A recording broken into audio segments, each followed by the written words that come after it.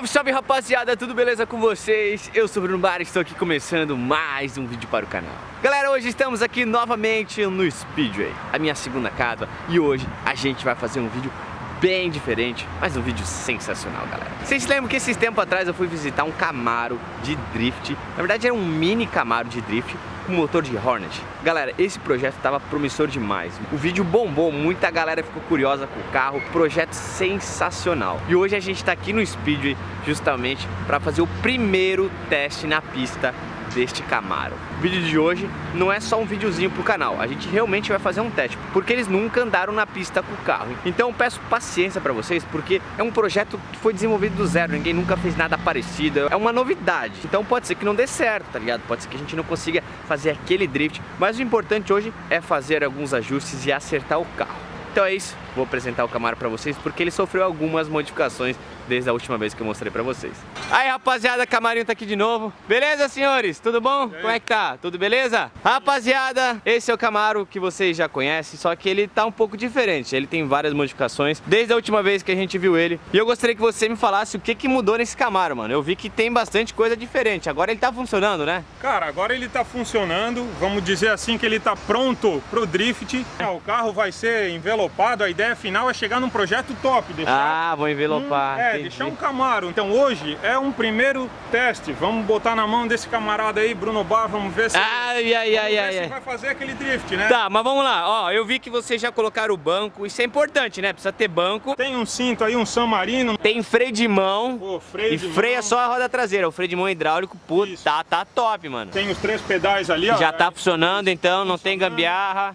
É, não tem, mas tem um pouquinho, não é coisa... Não, mas eu digo assim, não tem que acelerar com a mão, frear com, com o joelho, não. é com o pé mesmo, é tudo certo, como tipo, um carro de verdade. Tipo é um carro de verdade, assim, é. né? Ó, vocês fizeram alguns ajustes na suspensão também, né? A última vez que eu vi, não, vocês tinham somente um amortecedor, vocês botaram dois, pra deixar é. bem duro o carro, né? Bem no chão mesmo. Isso, a gente vai deixar ele bem no chão, cara, até porque a gente quer que trabalhe pouquinho, pra deixar um carro, acredito que mais firme, né? Mais Teria firme, um certo. Mais... E agora, o motor da Hornet, vocês fizeram aquela capa que vocês falaram, né? Pra pessoa quando entrar aqui não, não esbarrar no motor, que seria um problema, o cara ia pegar fogo, né? É isso aí, pra livrar um pouco do aquecimento. E acabou que ficou um cofre aí pro motor, colocamos uma ventilação lá na frente pra Aham, ficou passar, da hora, mano. Passar o vento aqui dentro, cara, do carrinho. Isso aqui também não tinha, né? Ele não tinha os semi-eixos ainda, o semi né? semi-eixo, isso mesmo, mano. Agora ele tem, tem tração. Galera, olha que louco. Isso aqui é motor de Hornet, só pra vocês que não estão ligados. Motor de Hornet, 600 cilindradas, né? Quantos cavalos tem mesmo? Quase 100, né? 100 cavalos. Quase 100 cavalos aí, num carro aí que pesa aí no máximo uns 300 quilos. Mano do céu, vai ser uma loucura, galera. Então esse é o motorzinho de moto, vocês estão vendo. Acho que desse lado dá pra ver melhor o motor da Hornet, olha só. Agora sim parece um motor de Hornet, que do outro lado tem a capa. Tem até, eu não, como é que é o nome desse negócio aqui? É slider, né? Slider, é. Ele ficou aqui, A gente já deixou como uma proteção, tava na motoca, era uma motoca que tava aí na manobra, no wheeling. Sim, aí vocês já deixaram aí, aqui. Né? Ó, aqui o radiador original do motor da Hornet. Mano, tá original originalzinho, o motor não tem nenhuma modificação de performance, né? Ela tá original, né? Não, não, esse motor aqui tá original, porque a gente pensou assim, pô, já tem a potência aparentemente necessária Legal, é. pro carro tudo que a gente fosse mexer iria colocar em risco aí a parte de, de segurança mesmo do motor, então vamos tocar assim Deixá-la original, né? Agora é o seguinte, mano, vocês estão vendo aqui que o Camaro, ele tá com umas cambagens na frente bem negativa. E isso aqui é um dos grandes segredos que a gente vai ter que desvendar hoje. Nos carros de competição, de drift mesmo, em tamanho real, a cambagem na frente ela precisa ser um pouco negativa. Agora a gente está falando de um projeto totalmente diferente, a gente está falando de um mini Camaro que tem um peso bem inferior, um entrecho muito diferente dos carros normais. Então vai ser um segredo, a gente vai ter que desvendar. Vamos analisar, vamos fazer teste, vamos ver se o Camarinho vai se sair bem na pista.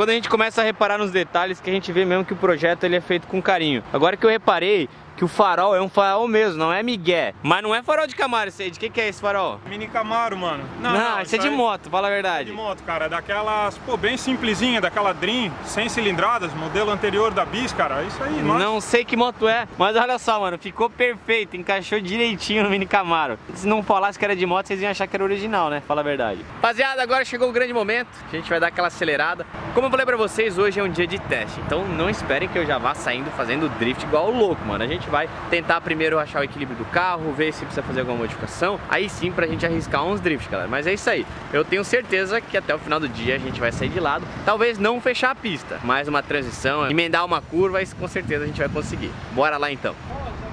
Aí, rapaziada, vamos entrando aqui já no Camaro. Mano do céu, o bagulho é apertado, rapaziada. O cinto aqui é só pra dar o migué, né? Mano, a posição de dirigir é uma coisa absurda. É muito apertado, mano. É muito apertado. Vamos lá, rapaziada. Então vamos ligar o, o Hornetão Camaro. Pera aí. Isso. E agora? Tá ligado aí? Assim, ah, ó. é uma moto, mano. Eu não entendo o é, de moto. Não, tipo, é um carro, mas é uma moto. É. As, ó, freio de mão. Freio de mão? Freio que tu não vai precisar usar por enquanto, mas tu é o cara que vai saber. E lá é a marcha, cara. Primeira pra frente e a outra, as outras pra trás, tá? Tá. É assim que funciona o câmbio. Aqui Beleza. tá meio durinho porque moto quando tá parada é assim é mesmo. Mais duro, né? que... entendi. E como liga aqui? É aqui que liga, cara, ali é o farol. É. Ah. Tá com o pé na embreagem? Tô. A embreagem dele é... A embreagem dele é meio sensível, cara. Vamos lá então?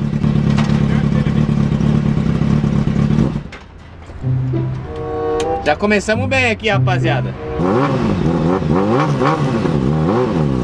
Agora foi, agora foi.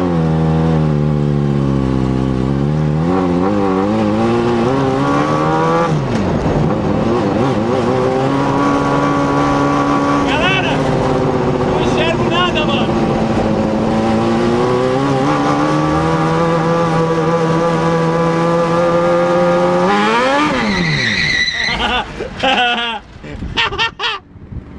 que louco!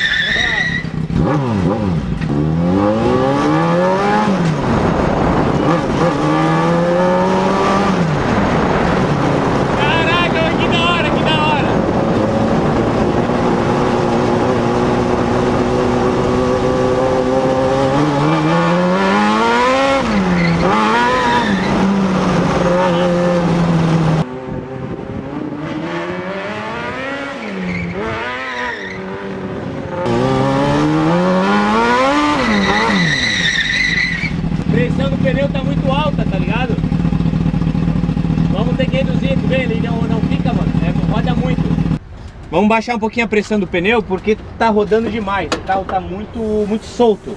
Galera, primeiro testezinho, mano, foi muito massa, sério, eu achei muito legal o Camaro, só o fato de acelerar com ele foi demais, rapaziada. A gente não conseguiu fazer drift, como eu falei pra vocês, era um teste. A gente tá reduzindo a calibragem do pneu, porque a gente tá com 45, tipo, é muita pressão. O pneu fica muito duro, escorrega demais.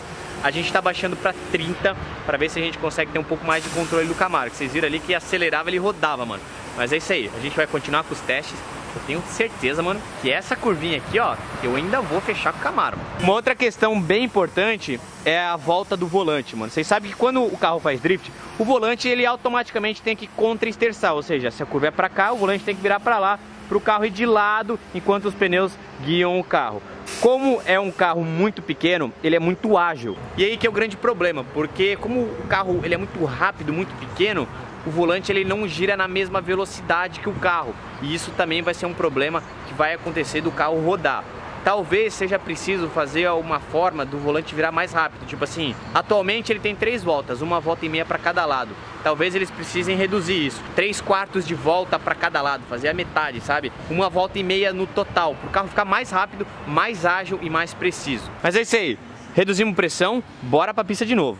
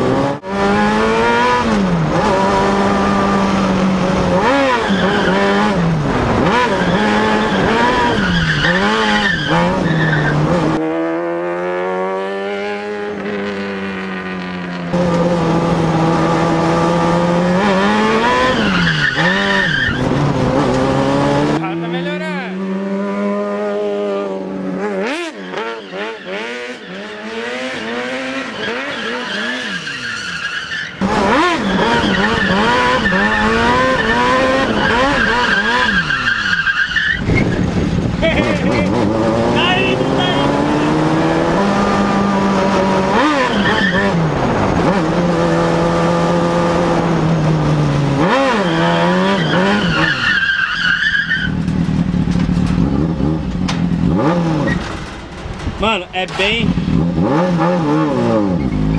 É muito difícil, mano. Ai, vamos lá.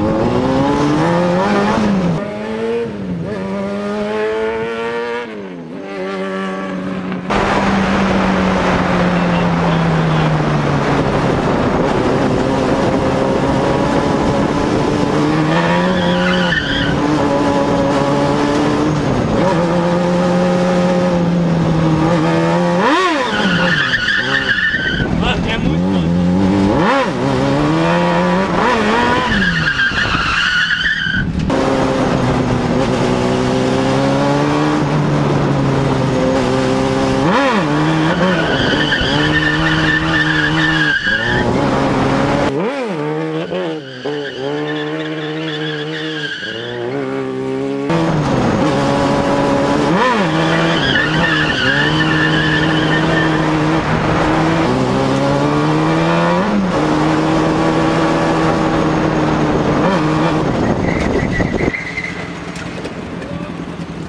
Meu Deus do céu. Mas esse negócio. Quero ver se controlar isso aí, mano. Nossa senhora. Muito complicado. Pessoal, agora a gente deu uma pausa. Ele tá mexendo ali. Porque acho que soltou o bracinho da direção ali. E quem acompanha o último vídeo sabe que o agregado dianteiro desse carro, né, do Mini Camaro, a caixa de direção é tudo de Chevette. Então era óbvio que ia dar algum problema, tá ligado? Então soltou ali o bracinho, a gente vai arrumar. Isso aí, mano, Chevette já tá acostumado. O Mini Camaro já tem um pedigree de drift, mas ao mesmo tempo ele tem um pedigree de Chevette, mano. Então, ó, é bom sempre andar com o mecânico, tá? Já fica a dica aí. É, rapaziada, o Camarinho sofreu mas vocês sabem, né? Chevette. Aqui, ó, vou mostrar pra vocês, rapaziada. Vocês estão vendo? Essa peça aqui é o pivô. Soltou e não tem como andar porque a roda tá toda bamba. Se mexe aqui, ó, na roda, ela tá toda solta. E a caixa de direção ficou com uma folga muito grande também, ó. Tu mexe aqui, a roda nem mexe direito. Então a gente ah, vai ter que abortar o teste. Esse- eu, eu falo, mano, eu usou o Chevette, mas é porque dá problema com esse negócio de Chevette, ó. Se os caras quiserem botar negócio de Chevette, aí aí. Se botasse um agregado dianteiro de 350Z, a gente tava andando até agora. Fala do Chevetinho, mas gosta, né? Eu comprei Chevette porque eu tava cansado de andar, andar, andar e o carro não quebrar, mano. Eu queria me incomodar. Aí comprei um Chevette só pra me incomodar. Mano, assim, ó, a peça, tudo bem, vamos zoar a peça do Chevette, mas assim, ó, cara, a gente colocou tudo usadão como veio do ferro velho ali. O bagulho merecia uma manutenção, e é isso Ah. que a gente vai fazer agora, né, Muriel? Bonito pra tua cara então. Veio aqui com Chevette, nem manutenção fez. Ah, o cara do Ah. ferro velho falou que tava bom, cara. Pá, meu Deus do céu. Mano, vocês veem como eu sofro, tá ligado? Deu pra dar uma brincada, eu não sei se ficou bonito nas imagens, eu não vi ainda. mas eu me diverti demais, galera. Eu acho que esse é o propósito, é diversão. O carro é muito legal, tem potencial, precisa fazer alguns ajustes. A gente vai ter que fazer uma regulagem ali na, na direção, tem que fazer muitas voltas, né? Três voltas total é demais, o carro é muito arisco, muito rápido, então a gente vai ter que fazer esse ajuste também, além da, de arrumar ali a caixa de direção, essas coisas que tem que deixar zero bala. Então é isso, rapaziada, o Mini Camaro, infelizmente, é, não vai dar pra gente andar, poucos probleminha, mas é isso, mano. O rolê foi animal, galera. A sensação de dirigir esse carro é absurda. Tipo, o, ronco da moto, a sensação de velocidade, a agilidade do carro. É tipo assim, é como se andar num kart três vezes mais forte do que um kart normal. É muito da hora. Se vocês quiserem acompanhar mais sobre esse projeto, ó, vocês vão lá no canal da TDS Kart Cross que eles estão fazendo, tipo, todos os vídeos de todas as modificações, todas as coisas que eles fazem no Camaro, eles estão postando lá. Então se vocês gostaram desse projeto, mano, vão lá, acompanha, começa a seguir eles, porque é demais, mano. O que eles estão fazendo nesse Camaro é, é, de tirar o chapéu. E agradecer também, mano, obrigado pela oportunidade aí, pela confiança. É isso aí. Vamos ajeitar o Camaro, né? Vamos fazer essas coisinhas. Vamos é, deixar top, mano. Deixar top, né? Por favor, né? E aí na próxima vez, mano, eu, igual eu falei, Falta isso aqui pro Camaro fazer um drift, tipo, bonito, assim. E é isso aí, rapaziada. Quando estiver pronto, eu vou fazer questão de convidar eles novamente pra vir aqui no Speed, pra gente testar o carro, treinar. Porque é isso aí, rapaziada. O projetinho do Camaro vai ficar top demais. E vai ficar bonito esse Camaro levantando fumaça. Então é isso, rapaziada. Se vocês gostaram do vídeo de hoje, não esquece de deixar aquele like. Se vocês não são inscritos no canal, já se inscreve aí, ativa as notificações pra ficar ligado de tudo. Então é isso. Eu sou o Bruno vou ficando por aqui. Fui!